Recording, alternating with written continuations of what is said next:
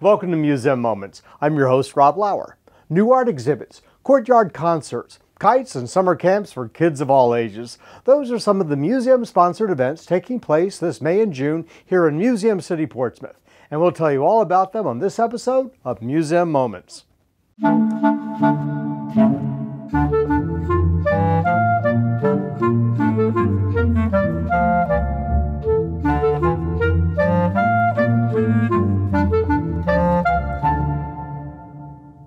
Welcome to our May June 2016 episode of Museum Moments. The Virginia Sports Hall of Fame, located on High Street in Old Town, is one of the region's premier attractions, and now through June is hosting a special display created especially for it. Here's the Hall of Fame's curator, Diane Blanchard Gross, to tell us about it. Well, Diana, thanks for joining us today. My pleasure. So there are some things going here on here at the uh, Sports Hall of Fame. Yes, we are excited. Um, in our changing um, gallery here at the Virginia Sports Hall of Fame, we have a wonderful exhibition. It's called Love of the Game. It's works by Clayton Singleton.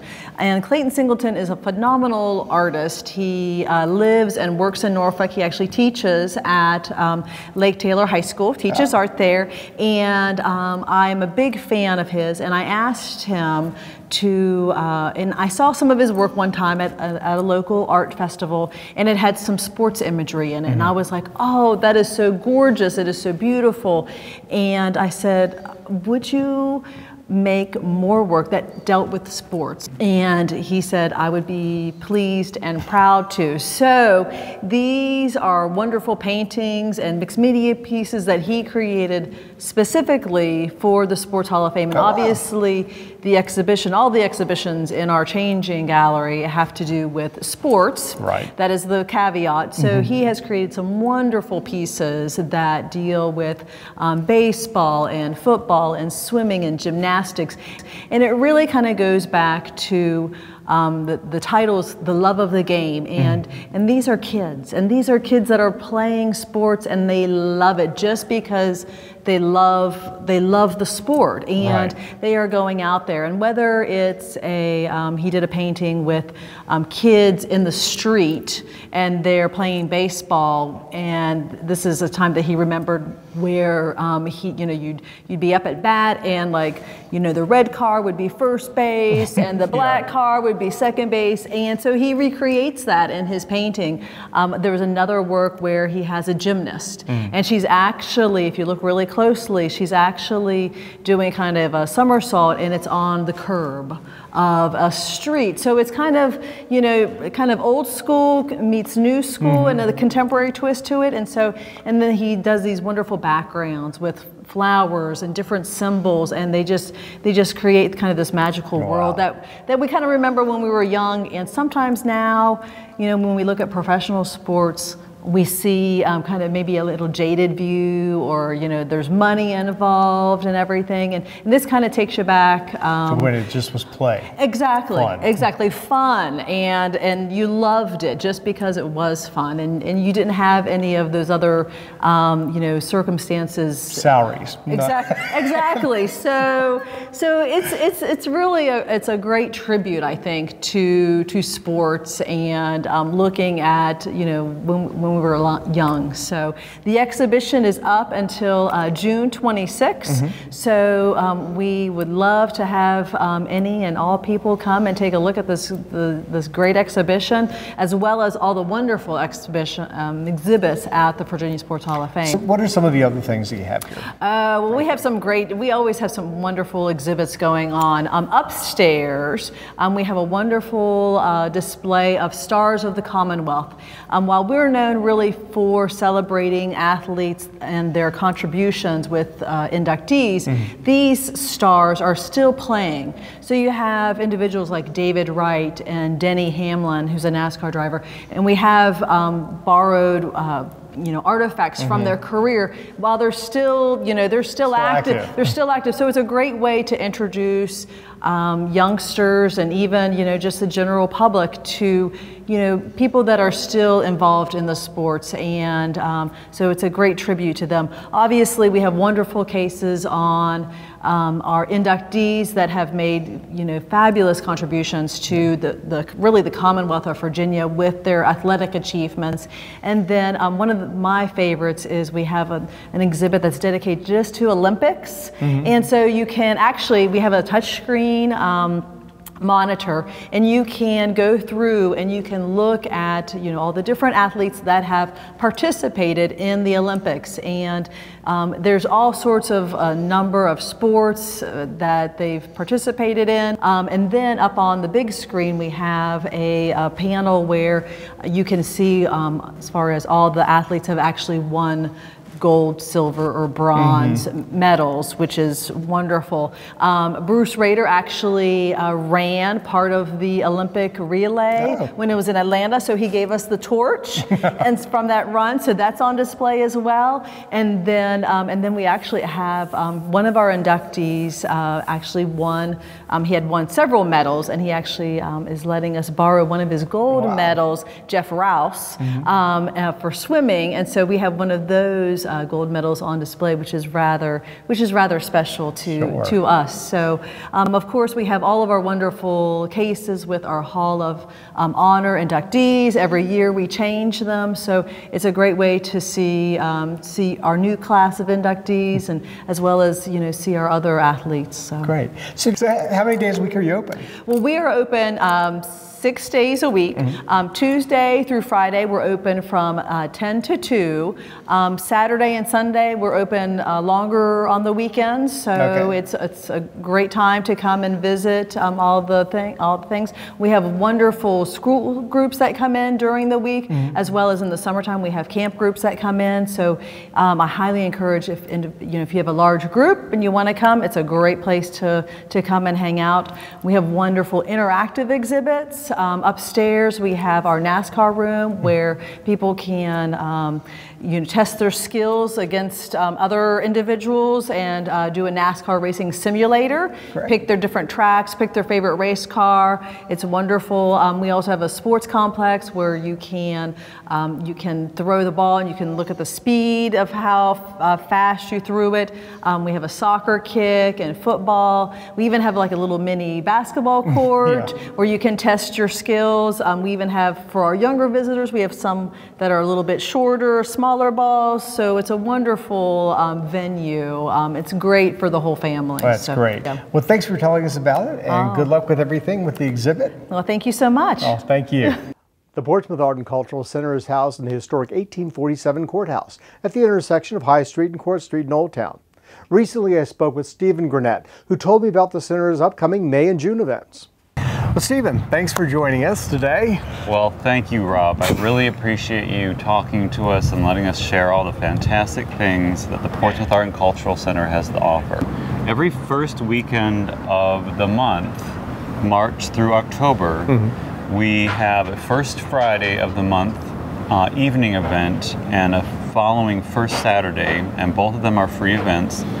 So we have um, one coming up in May and then another in June. Mm-hmm. So on May 6th from 5 to 8 p.m., we waive admission to the exhibits and we oftentimes have a special musical series that's sponsored by the Portsmouth Partnership and mm-hmm. Town Bank and Ports Events. And the one in May is going to feature a big band, relatively new band to the area called Soul Intent. So I'm really looking forward to hearing this band. It should That's be a fantastic. right out here in the courtyard, right? Yeah, if it's nice out, it'll be out here in the courtyard. Um, like today, it's a beautiful day. If not, we have um, a building next door. You just walk through our gift shop, and we can have the event in there if it rains. And then the next day, we're open free from 10 o'clock to 5 o'clock on Saturday. And I'm telling you what, Rob, in May, it's going to be huge because it's Mother's Day weekend. Mm-hmm. And do you know what Mother's Day weekend is around here? The Gosport Art Show. The Gosport Art Show. so, all along High Street, you're going to have art vendors selling their work, original works by artists. And every time we do that, we have artists here in the courtyard to mm-hmm. demonstrate their arts and crafts. We'll have a blacksmith guild. We'll have Sharon Hilgers who makes socks. We'll have the. Uh, She makes socks. She makes socks, but we'll also have a spinning and weaving guild. Okay. And a lot of these artists, artisans will have works for sale.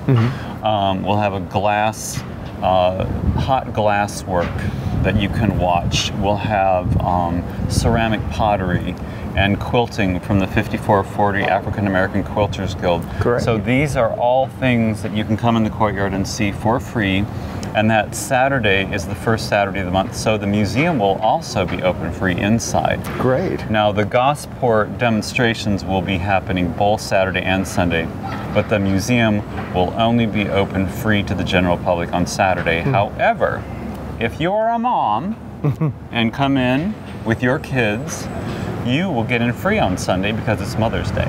Oh, great. So that's a way. Uh, that's our way of Happy wishing Mother's Day. everyone a happy Mother's Day, and it should be a fantastic weekend.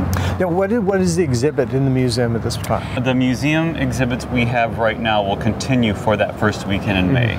And it's Vanishing Beauty, which features artwork by um, artists who focus on environmental change or preserving um, nature.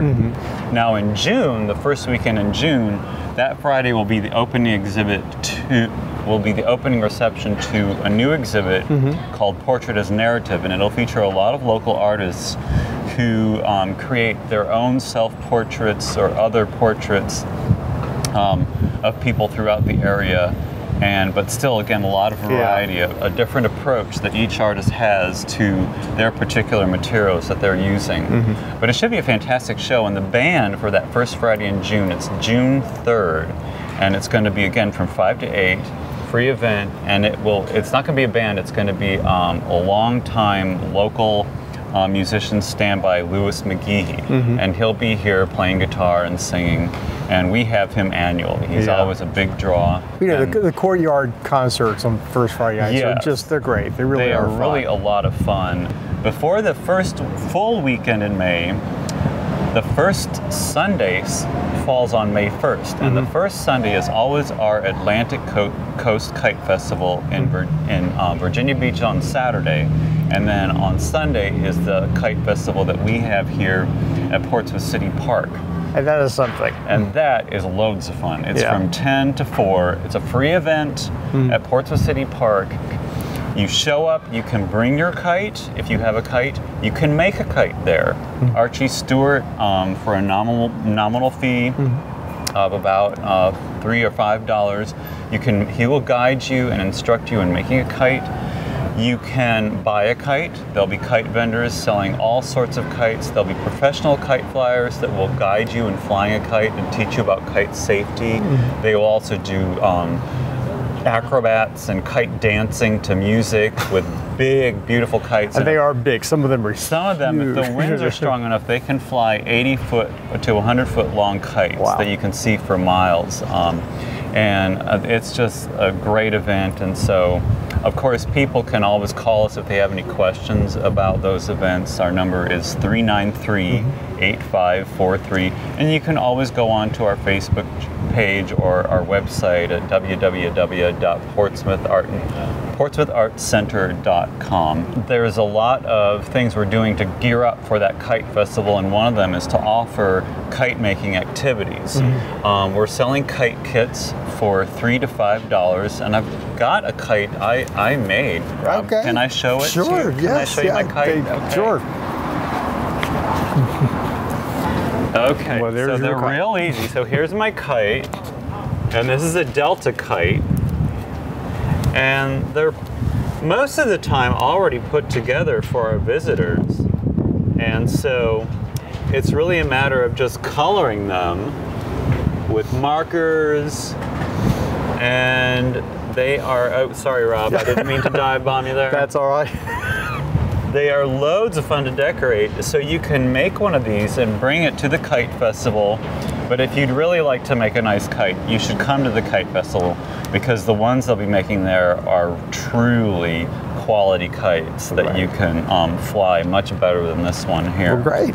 All right, well, thanks for joining us and telling us all about that. Yeah, I would like to mention just a couple Sure. other things that we're going to have going on. Every Saturday, there's a farmer's market Mm-hmm. that we're going to be starting in May, and um, we have it every year. And it's around the courtyard. And we're going to start offering tastings from some of the vendors in this market here in the courtyard. I, I believe maybe about every third Saturday we'll have tastings. There's another event in May, middle of May, um, on the 21st and 22nd. It's a weekend and it's going to be um, included with admission. It's a bonsai display and sumi-e and pottery display. So it's sort of the arts of Japan, and that will be mm-hmm. held next door in the building that houses our gift shop. Great. And Randy McKinney at Orzo Studio, he teaches pottery classes at Orzo Studio along with Stephen Martyr, and he's organized this incredible display of bonsai trees and sumi-e demonstrations that we'll have then. It's um, Saturday and Sunday, May 21st and 22nd. And again, if they want more information, just give you a call or visit Give the me a call. I'd be happy to talk with you folks. Absolutely. Right. Well, thanks for joining us, Stephen, telling us all about that. Thank you for letting me blab, Rob. Thank you for blabbing. So come back again. Even though the Portsmouth Shipyard's main facility is currently closed for renovations, the museum continues to sponsor historical lectures at the Churchland Branch Library.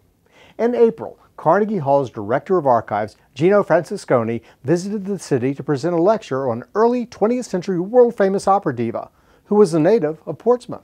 I understand that yesterday you gave a great lecture, sponsored by the museums, out at the Churchland Library, on someone who I had, I knew nothing about her. Tell us about her. Well, her name is Sissieretta Jones, and I only learned of her because she was one of the first African Americans to play at Carnegie Hall. And I thought, I need to know more about her. And what was odd was how much was not known about her. Now, here was a woman who um, was known as the Black Patti of her day. Adelina Patti was a great singer, a great soprano of the day. And what, what time period is this? Oh, we're talking about the 1880s, 1870s, 1880s, 1890s, uh, early uh, 1900s. And um, she was simply known as Patti. You know, you see it in programs. So Sissieretta Jones at one point was known simply as the Black Patti, which was really interesting. Um, considering what African Americans were called back then, even in programs, the idea of using the word black to me sounds almost like an elevation, you know? So she performs uh, at the White House, she performs in Europe and in Australia and all over the United States and um, at Carnegie Hall as well. And she's given all these medals. There's a wonderful photo of her. I hope you can find it, where she, uh, when she would travel in in the South in in um, the Caribbean, she would be given these medallions with diamonds and rubies and the same, and she would wear them at her performances like a brigadier general, you know, with all the fruit salad, you know. And she must have sparkled when she came out on stage. And then her mother became ill and she her mother was in Providence, and uh, one by one she had to sell her homes. She had two or three, and she died forgotten and impoverished. oh my gosh. This is unbelievable. so when did she die? Was this like 1930s? 1933. And she was from Portsmouth. She was born here, Okay. and then moved to Providence, Rhode Island, with her family, and was one of the first uh, African Americans to uh, be um, to to um, uh, go to school at the at the Conservatory of Music, at the New England Conservatory of Music, and she did so many things that paved the way for other African Americans. What, what I'm amazed by lis- listening to you is this was just 20, 30 years after the Civil War ended. yeah. At a time where when blacks in entertainment were still doing Minstrel minstrel shows. shows and things like that that were very Yeah. degrading. Yeah. In fact, at one point, because of racial barriers, in fact, it wouldn't be until Marian Anderson in 1955 mm-hmm. to sing at the Metropolitan Opera to be the first African American allowed to sing in an opera house. So, did that stop Sissieretta Jones? No, she started her own opera company and toured the country. And then uh, that took care of one segment of the population. And then she started another, like a high end minstrel show to take care of the other. And so, at the peak of her career, she was making anywhere from a thousand to two thousand dollars a week. And this is probably like when Eighteen nineties. yeah, where the average income I think was about a thousand a year for most people. The guys who built Carnegie Hall in 1890 and 91 were making a dollar a day. Yeah. So think about that. That's sort of like the equivalent of $25,000 a week. Wow. And then to die impoverished and forgotten is amazing. So part of my trip down here was to uh, talk about Carnegie Hall and the history of Carnegie Hall, but it was also to get people excited about Sissieretta Jones and to say she was born here. Take pride in this. Yeah. You know. Now you were telling me before the cameras are rolling that you're this afternoon you were actually going to visit some of her relatives who are still she here. She has a, a, a great niece who lives in Hampton, and uh, she's 84 years old. She taught at Hampton Institute and wrote the only book. No, there are actually two books written about Sissieretta Jones, but because her archival material has just disappeared, the books are are uh, thin. You know, and I asked if she would meet with me. I called her 30 years ago. and she remembered the phone call and she said absolutely and so we're going to meet today at two o'clock i'm really i'm just thrilled to death oh, that's great. it's a great honor for me I, I, yes. I'm going to be that close do you know what i mean Yeah. to someone who performed at carnegie hall our first season Well, listen, thank you so much, not only for coming in for this interview, but for traveling down here and, and educating us. well thank you for asking Thank you. and uh, I, it's, it's been a pleasure Throughout the summer, the Children's Museum of Virginia offers a wide variety of summer day camps for kids of all ages. Here's museum educator Corey Staten with more information on what's being planned for summer of 2016.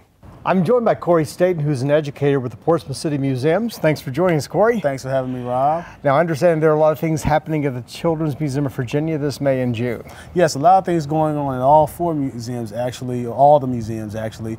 The in May, we're going to kick off the warm weather months with a special day for special needs, where the Children's Museum will do something it doesn't do normally on Sundays.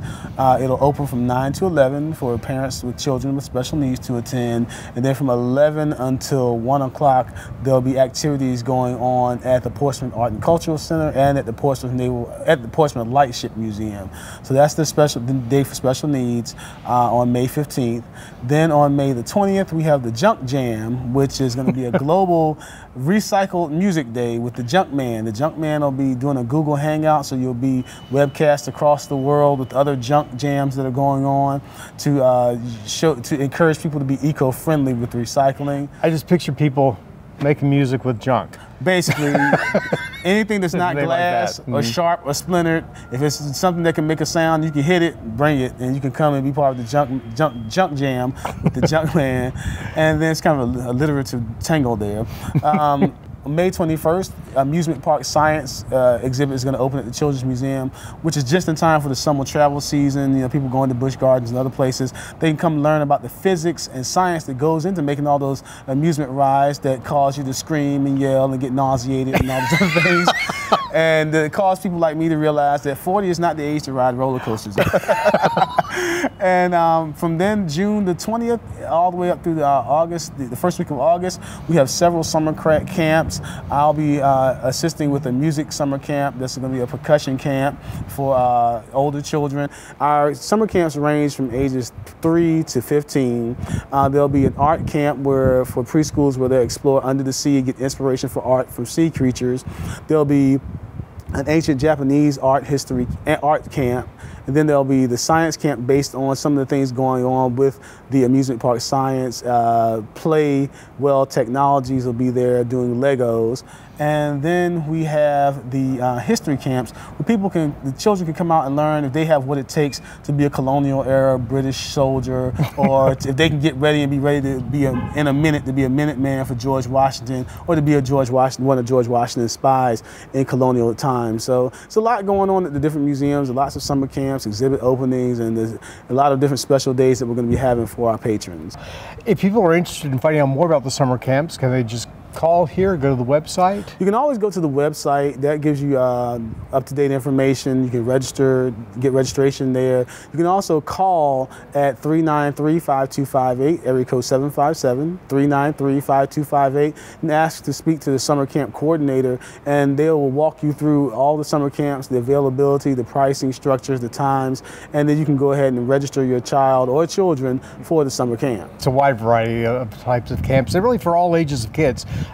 Children's Museum, a lot of times people think, I, I think mistakenly assume it's little kids, right. but this is even into early teens and mid-teens. Some right. of these camps We're going to have camps available for people as old as 15 years old. And the 15-year-olds don't have to worry, they're not going to be mixed in with the uh, three-year-olds. so it'll be age appropriate and they'll be grouped off into their appropriate ages. So you'll have maybe 13, 14, 15-year-olds together, and then it'll be broken up into different age groups so that everybody has something age appropriate and they're with an age appropriate peer group. Well, thanks so much for joining us today and telling us all about it. All right, thanks, Rob. Stay off you. those roller coasters this summer. Oh, I will.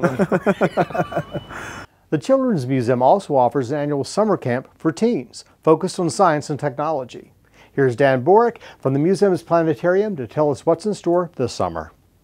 Dan, thanks for joining us today. Thanks for having me. Good to have you here again. Now, you always do very interesting, really compelling summer programs here, summer camps. We've uh, covered them the last few years. Mm-hmm. What do you have coming up this year for 2016? Well, this year the sky's the limit. So we have a new program. It's a it's a NASA-based uh, uh, bit of technology, mm-hmm. and uh, when flying a kite is actually not flying a kite. We're going to be using it as a launch vehicle to uh, take some of our equipment up into uh, about 2,000 feet above greater Tidewater area. Wow. Uh, some of Portsmouth, some of the beach, looking at beach erosion, and uh, use some of the specialized equipment that they have to uh, to study it. So, what type of equipment would this be? Well, uh, first off, we have some samples here. Yeah, we do. We have we have launch vehicles, and uh, they're very large kites. They're mm-hmm. very large Delta kites. Uh, our smallest one is seven foot, and our largest one is 12 foot. Wow. and you think about how much lift they can do. Good enough to lift one of these things. NASA calls this thing an an aeropod. Mm-hmm and uh, you put the kite up a couple thousand feet or maybe 1500 feet. There's a little drop to this and uh, we have uh, specially modified cameras down here very much like a nasa satellite would have. Mm-hmm. um, multiple cameras in the bottom. Uh, landsat for example has eight the new version has eight cameras on board. Each one is responsible for a different wavelength of light. Uh, we have uh, two cameras. These are little mobius cameras little digital cameras uh, one of them is, has been uh, modified to take ultraviolet, or mm-hmm. uh, excuse me, infrared, near infrared light. This one takes near infrared light, and this one takes um, visible color. And when you put those things from up uh, at a great height and shoot down, you get two distinctly different kinds of pictures mm-hmm. that can be uh, manipulated like a Landsat image, okay. and we can we can do false color imaging very much like NASA does, and we give our students a chance to do that. Uh, this sounds fascinating. Uh, what age group is this geared towards? Uh, this is for rising uh, ninth graders through 12th graders at Portland Public Schools. Um, okay. They're uh, gone through a recommendation process by their by their uh, homeroom teachers or science mm-hmm. teachers. Mm-hmm. Um, many of them have been involved in the STEM program in Portsmouth for years and years and years, and this mm-hmm. is just uh, another step along the way. If someone is seeing this at the beginning of May, would they still have time to? They, I believe so. Sure, to absolutely. look into it, so right, they would yeah. just inquire at their school about it. Right. We're looking at uh, uh, getting about 20 uh, high school students in to to learn a little bit about uh, remote sensing mm-hmm. and uh, uh, false color imaging and things like that. Really work into the STEM uh, program that we have already uh, set up in the city. Every year you do a fascinating you know camp here. What has been the reaction in past years? Been a, a, a good feedback from our, our, our, parents of our students and mm-hmm. from our students, many of which have gone into STEM careers. Well, good luck with this. Sounds fascinating. We'll catch up with you later in the summer and maybe uh, do a feature on it. Very good. Thank you. Thank you. That's it for our May June show. For information on events sponsored by Portsmouth Museums, log on to www.portsvaevents.com. I'm Rob Lauer. Be sure to join me again for the July August episode of Museum Moments.